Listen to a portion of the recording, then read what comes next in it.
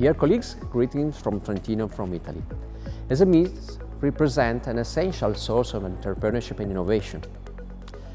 In Europe, for example, 99% of companies are SMEs. And do you know that in Europe, two-thirds of the private jobs come from them? And do you know that in Europe, uh, half of the added value from business is made by SMEs?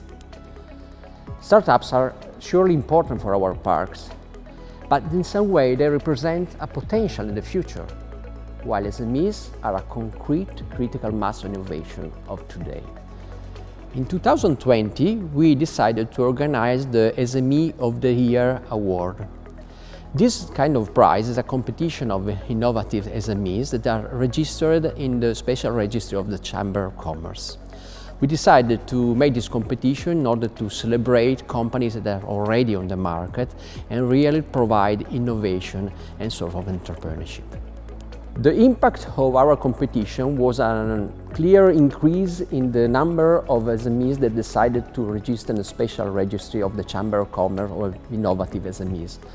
Uh, the increase was of 33% and was a success of our competition.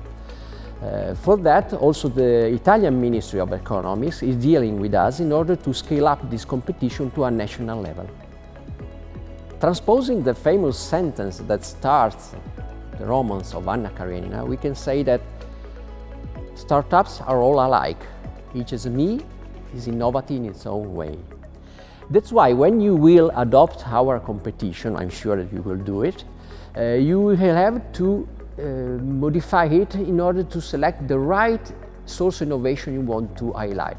You can choose technology innovation, you can choose business model innovation, you can choose solution for the creation of innovative way of training your workers and so on. So shape the award as you want.